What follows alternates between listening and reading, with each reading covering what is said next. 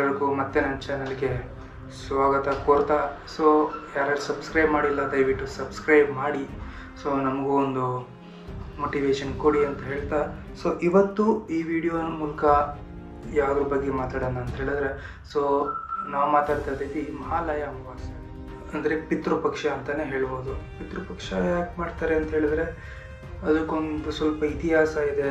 ಯಾಕಂದ್ರೆ ನಮ್ಮ ಪೂರ್ವಜರು ಯಾರಿದ್ದಾರೆ ಅವರೆಲ್ಲ ಕಾಲ ಆಗಿರ್ತಾರೆ. ಅವ್ರಿಗೆಲ್ಲ ಈ ಮಹಾಲಯ ಅಮಾವಾಸ್ಯೆ ದಿನ ಅವರು ಬಂದು ಆಶೀರ್ವಾದ ಮಾಡಿ ಹೋಗ್ತಾರೆ ಅನ್ನೋದು ಒಂದು ವಾಡಿಕೆ ಇದೆ.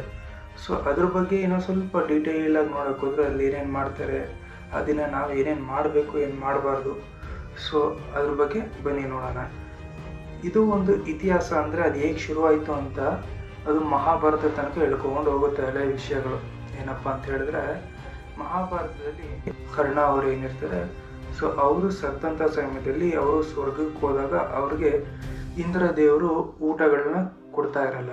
ಸೊ ಆ ಸಮಯದಲ್ಲಿ ದಾನಶೂರ ಕರ್ಣ ಅವರು ಕೇಳಿದಾಗ ಇಂದ್ರನ ಹತ್ರ, ಯಾಕೆ ನನಗೆ ಕೊಡ್ತಾ ಇಲ್ಲ ಈ ಥರ ಊಟಗಳು? ನನಗೆ ಸಿಗ್ತಾ ಇಲ್ಲ, ನಾನು ಸತ್ತ ಮೇಲೆ ಅಂತ ಹೇಳಿದಾಗ, ಅವಾಗ ಇಂದ್ರ ದೇವರು ಹೇಳ್ತಾರಂತೆ, ನೀವು ಹೇಳ್ತಾರಂತೆ ಕರ್ಣನಿಗೆ ನೀನು ಭೂಮಿ ಮೇಲಿದ್ದಾಗ ನಿಮ್ಮ ಪಿತೃಗಳಿಗೆ ನೀನು ಪೂಜೆ ಮಾಡಿಲ್ಲ.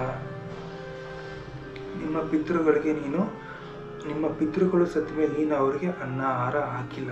ಸೊ ಅದಕ್ಕೆ ನೀನು ಸ್ವರ್ಗಕ್ಕೆ ಬಂದ್ರೂ ನಿನಗೆ ತಿನ್ನೋಕ್ಕೂ ಕೂಡ ಇನ್ನು ಏನು ಸಿಗಲ್ಲ ಅಂತ ಇಂದ್ರ ದೇವ್ರು ಹೇಳಿದಾಗ ಅದಕ್ಕೆ ನಮ್ಮ ಕರ್ಣ ಕೇಳ್ತಾರೆ. ಇದಕ್ಕೆ ಸರಿ, ತಪ್ಪಾಗಿದೆ. ನನ್ನಿಂದ ಅದಕ್ಕೆ ಮುಂದೆ ಏನು ಸರಿ ಮಾಡ್ಬೋದು ಅಂತ ಕೇಳಿದಾಗ ಆ ಇಂದ್ರ ದೇವರು ಕರ್ಣಂಗೆ ಹೇಳ್ತಾರೆ ನಿನಗೆ ಮತ್ತೆ ಹದಿನೈದು ದಿನ ಟೈಮ್ ಕೊಡ್ತೀನಿ. ಮತ್ತೆ ಭೂಮಿಗೆ ಹೋಗಿ ನಿಮ್ಮ ಪಿತೃಗಳಿಗೆ ಒಂದು ಅನ್ನ ಆಹಾರ ಹಾಕಿ ಅವ್ರಿಗೆ ಪೂಜೆ ಮಾಡಿ ನೀನು ವಾಪಸ್ ಬಾ, ಆಗ ನಿನ್ನ ಮಾಡಿದ ತಪ್ಪು ಸರಿ ಹೋಗ್ತದೆ ಅಂತ. ಸೊ ಈ ಒಂದು ವಿಷಯದಲ್ಲಿ ಕರ್ಣ ಮತ್ತೆ ಭೂಮಿಗೆ ಬಂದು ಹದಿನೈದು ದಿನದಲ್ಲಿ ಅವರ ಪಿತೃಗಳಿಗೆ ಪೂಜೆ ಮಾಡಿ, ಅನ್ನ ಆಹಾರ ಹಾಕಿ ಅಲ್ಲಿ ನಮಸ್ಕಾರ ಮಾಡಿ ಅವರ ಆಶೀರ್ವಾದ ತಗೊಂಡು ಮತ್ತೆ ಕರ್ಣ ಸ್ವರ್ಗಕ್ಕೆ ಹೋದರು ಅಂತ ಒಂದು ವಿಶೇಷ. ಸೊ ಆ ಸಂದರ್ಭದಲ್ಲಿ ಈ ಒಂದು ಪಿತೃಪಕ್ಷ ಅನ್ನೋದು ಶುರುವಾಗಿದೆ ಅಂತ ಒಂದಷ್ಟು ಕಡೆಯಿಂದ ಕೇಳಿ ಬಂದಿರೋದು. ಹುಡ್ಕೋದು ಕೂಡ ಸಿಗುತ್ತೆ ನಿಮಗೆ. ಸೊ ಅದ್ರ ಪ್ರಕಾರ ಈ ಒಂದು ಮಹಾಲಯ ಅಮಾವಾಸ್ಯೆ ಅನ್ನೋದು ಶುರುವಾಗಿದೆ ಸೊ ಈ ಮಹಾಲಯ ಅಮಾವಾಸ್ಯೆ ಮಹಾಲಯ ಅಮಾವಾಸ್ಯೆ ಅನ್ನೋದು ಒಂದು ಲಾಸ್ಟ್ ಡೇ ಅಮಾವಾಸ್ಯೆ ಅಂದರೆ ಅದು ಕೊನೆ. ಸೊ ನೆಕ್ಸ್ಟಿಂದ ಮತ್ತೆ ನವರಾತ್ರಿ ಸ್ಟಾರ್ಟ್ ಆಗ್ತದೆ ಈ ಅಮಾವಾಸ್ಯೆ ಮುಗಿದ ಮೇಲೆ. ಸೊ ಈ ಅಮಾವಾಸ್ಯೆ ಲಾಸ್ಟ್ ಸೊ ಇದರಿಂದ ಹದಿನೈದು ದಿನ ಹಿಂದೆನೂ ಕೂಡ ಒಂದಷ್ಟು ಜನ ಮಾಡ್ತಾ ಇರ್ತಾರೆ. ಸೊ ಅವ್ರವ್ರ ಮನೆ, ಆ ಕಾಲದಿಂದ ಏನು ಮಾಡ್ಕೊಬರ್ತಾರೆ ಅದನ್ನ ನಡ್ಸ್ಕೊಂಡು ಹೋಗ್ತಾರೆ. ಸೊ ಈ ಅಮಾವಾಸ್ಯೆ ದಿನ ಆಲ್ಮೋಸ್ಟ್ ತುಂಬ ಜನ ಇವತ್ತು ಮಾಡೇ ಮಾಡ್ತಾರೆ ಅಮಾವಾಸ್ಯೆ ದಿನ. ಸೊ ಮಹಾಲಯ ಅಮಾವಾಸ್ಯೆ ಹೇಗೆ ಶುರುವಾಯಿತು ಅಂತ ನೋಡಿದ್ರಿ. ಸೊ ನೆಕ್ಸ್ಟ್ ಅಮಾವಾಸ್ಯೆ ದಿನ ಏನು ಮಾಡ್ತಾರೆ? ಆಬ್ವಿಯಸ್ಲಿ ಅವರ ಪಿತೃಗಳಿಗೆ, ಅಜ್ಜಿ ಆಗಿರ್ಬೋದು ತಾತ ಆಗಿರ್ಬೋದು, ಅವ್ರ ಮುತ್ತಾತ ಆಗಿರ್ಬೋದು.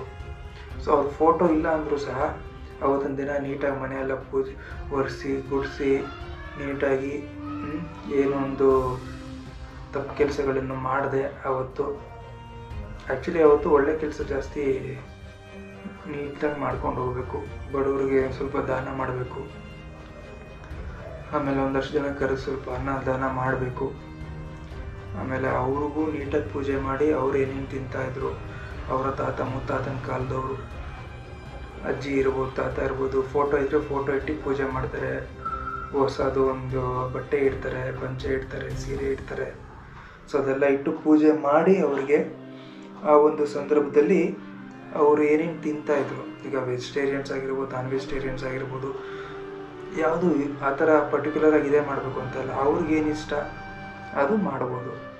ಸೊ ಈಗ ವೆಜಿಟೇರಿಯನ್ಸ್ ಆಗಿದ್ರೆ ಸಿಹಿ ಊಟ ಮಾಡಾಕ್ತಾರೆ ನಾನ್ ವೆಜಿಟೇರಿಯನ್ಸ್ ಆಗಿದ್ರೆ ಅವ್ರು ಏನು ತಿಂತಾಯಿದ್ರು ಚಿಕನ್ ಇರ್ಬೋದು ಮಟನ್ ಇರ್ಬೋದು, ಅದನ್ನು ಕೂಡ ಅವ್ರಿಗೆ ಹಾಕುವಂಥ ಒಂದು ಪ್ರತೀತಿ ಇದೆ. ಸೊ ಈ ಸಂದರ್ಭದಲ್ಲಿ ಅವರು ಇನ್ನೂ ತಾನು ಸ್ವಲ್ಪ ದಿನ ಯಾವುದೋ ಒಂದು ಫೋಟೋದಲ್ಲೆಲ್ಲ ನೋಡಿದ್ದೆ. ಈ ಸ್ಪೀಡ್ ಕಾರ್ಡ್ ಇಡ್ತಿದ್ರು. ಅವ್ರಿಗೇನೇನು ಅಭ್ಯಾಸ ಇತ್ತು ಅವ್ರಿಗೇನೇನು ಇಷ್ಟ ಇತ್ತು ಅದನ್ನು ಇಟ್ಟು ಪೂಜೆ ಮಾಡಬೇಕು ಅಷ್ಟೇ. ಸೊ ಈಗ ಡ್ರಿಂಕ್ಸ್ ಇಡ್ತಾರೆ ಆಬ್ವಿಯಸ್ಲಿ ಯಾರು ಡ್ರಿಂಕ್ಸ್ ಮಾಡ್ತಿದ್ರು ಅವ್ರಿಗೆ ಸ್ವಲ್ಪ ಎಣ್ಣೆನೂ ಇಡ್ತಾರೆ ಸ್ಮೋಕ್ ಮಾಡ್ತಾರೆ, ಬೀಡಿ ಇಡ್ತಾರೆ ಸಿಗರೇಟ್ ಇಡ್ತಾರೆ ನಶೆ ಇಡ್ತಾರೆ. ಸೊ ಇನ್ನು ಮುಂದಿನ ಜನ್ಮಕ್ಕೆ ಏನೇನು ಇಡ್ತಾರೋ ನಮಗೂ ಕೂಡ ಗೊತ್ತಿಲ್ಲ. ಆವಾಗಿನ ಜನ್ರೇಷನ್ ಅವರು ಬೀಡಿ ಸಿಗರೇಟು ಡ್ರಿಂಕ್ಸು ಅಷ್ಟು ಚಟ ಇತ್ತು ಇನ್ನು ಇನ್ನು ಮುಂದಕ್ಕೆ ಅದೇನೇನು ಚಟ ಇಟ್ಕೋತಾವೋ ಗೊತ್ತಿಲ್ಲ. ಅದೇನು ಇಟ್ಕೋತಾವ ಗಾಂಜಾ ಗಿಂಜಲಿಂದ ತರೋದಪ್ಪ ಅದೇ ಭೀಮಾ ಫಿಲಮಲ್ಲಿ ತೋರಿಸ್ತಾರಲ್ಲ ಹಂಗೆಲ್ಲ ಹಾಕೋದ್ರೆ. ಸೊ ಅದಕ್ಕೆ ಎಲ್ಲ ಆದಷ್ಟು ಚಟಗಳನ್ನ ಕಮ್ಮಿ ಮಾಡಿ. ಈಗ ನೀವು ಮಾಡಿದ್ರೆ ಮುಂದಕ್ಕೆ ನಿಮ್ಮ ಮಕ್ಕಳು ಮಕ್ಕಳು ಮೊಮ್ಮಕ್ಕಳು ಬೈಕ್ ಅಂತ ಅಂದಿಡ್ತಾರೆ. ಎಲ್ಲೆಲ್ಲಿ ಹುಡುಕ್ಬೇಕಪ್ಪ ಅಂತ. ಸೊ ಅದೆಲ್ಲ ಒಂದು ಒಳ್ಳೆ ಥರ ನಡ್ಕೊಂಡು ಹೋಗಲಿ ಅಷ್ಟೆ. ಸೊ ಆಮೇಲೆ ಅವ್ರಿಗೆ ಸಿಹಿ ಊಟಗಳಾಗಿರ್ಬೋದು, ಹಣ್ಣುಗಳಾಗಿರ್ಬೋದು ಇಟ್ಟು ನೆಕ್ಸ್ಟ್ ಪೂಜೆ ಮಾಡಿ ಅವರು ಅದನ್ನು ಬಂದು, ಆತ್ಮಗಳು ಬಂದು ಅದನ್ನು ತಿಂದು ತೃಪ್ತಿಪಟ್ಟು ಹೋಗ್ತಾರೆ ಅಂತ ವಾಡಿಕೆ ಇದೆ. ಸೊ ಹಾಗಾಗಿ ಅವರು ಸಂಜೆ ಒಂದು ಏಳು ಗಂಟೆ, ಎಂಟು ಗಂಟೆ ಒಳಗೆಲ್ಲ ಮಾಡ್ತಾರೆ. ಸ್ವಲ್ಪ ಜನ ಮಧ್ಯಾಹ್ನ ಮಾಡ್ತಾರೆ, ಸ್ವಲ್ಪ ಜನ ಸಂಜೆ ಟೈಮ್ ಮಾಡ್ತಾರೆ. ಒಂದಾರು ಜನ ಕರೆದು ಸ್ವಲ್ಪ ಊಟ ಹಾಕ್ತಾರೆ. ಆ ನಂತರದಲ್ಲಿ ಅವರು ಎಲ್ಲ ಇಟ್ಟು ಪೂಜೆ ಮಾಡಿ, ಪೂಜೆ ಮಾಡಾದ್ಮೇಲೆ ಅವ್ರಿಗೆ ಕುಡಿಯೋಕ್ಕೆ ನೀರು ಇಟ್ಟಿರ್ತೀವಿ ಜೊತೆಲಿ. ಯಾಕಂದರೆ ಬಂದಲೇ ಗಂಟಲು ಸಿಗಾಕೋಬಾರ್ದಲ್ಲ ಸೊ ಹಾಗಾಗಿ ನೀರು ಗೀರೆಲ್ಲ ಇಟ್ಟು ಸ್ವಲ್ಪ ಪೂಜೆ ಎಲ್ಲ ಮಾಡಿ ಮನೆಯವರೆಲ್ಲ ಸ್ವಲ್ಪ ಹೊತ್ತು ಆಚೆ ಹೋಗ್ತಾರೆ.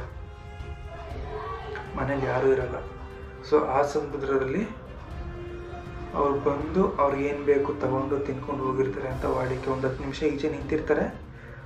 ಆಮೇಲೆ ಒಂದು ಸ್ವಲ್ಪ ಹೊತ್ತು ಆದಮೇಲೆ ಅವ್ರು ಮತ್ತೆ ಬಂದು ಮತ್ತೆ ಪೂಜೆ ಮಾಡಿ, ಆ ಎಡೆ ಇಟ್ಟಿದ್ದಂಥ ಅದನ್ನು ಪ್ರಸಾದ ಅಂತ ಸ್ವಲ್ಪ ಜನ ತಗೋತಾರೆ.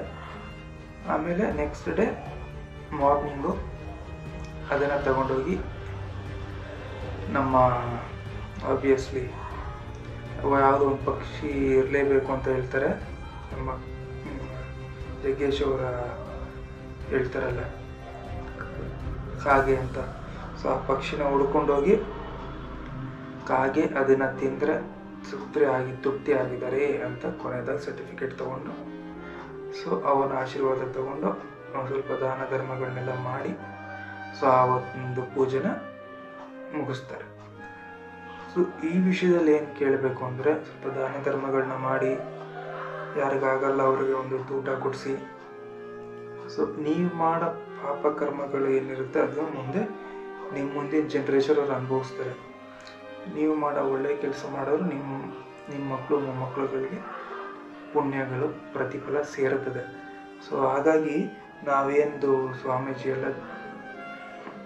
ಏನೂ ಅಲ್ಲ. ನಮ್ಗೆ ಗೊತ್ತಿರೋದು ನಾವು ಹಂಚ್ಕೋತಾ ಇದ್ದೀವಿ. ಸೊ ಇದನ್ನಷ್ಟು ಶೇರ್ ಮಾಡಿ, ನಿಮಗೆ ಹೇಗೆ ಮಾಡ್ತಾರೆ ನಿಮ್ಮ ಕಡೆ ಹೇಗೆ ಮಾಡ್ತಾರೆ ಅದನ್ನು ಕಮೆಂಟ್ ಬಾಕ್ಸಲ್ಲಿ ತಿಳಿಸಿ, ಆದಷ್ಟು ಲೈಕ್ ಮಾಡಿ. ಇನ್ನಷ್ಟು ವಿಡಿಯೋಗಳಿಗೆ ಉತ್ತೇಜನ ನೀಡಿ ಅಂತ ಹೇಳ್ತಾ ನಾನು ವಿಡಿಯೋನ ಮುಗಿಸ್ತಾ ಇದ್ದೀನಿ. ನಮಸ್ಕಾರ ಅಪ್ಪ, ಸ್ವಾಮಿ.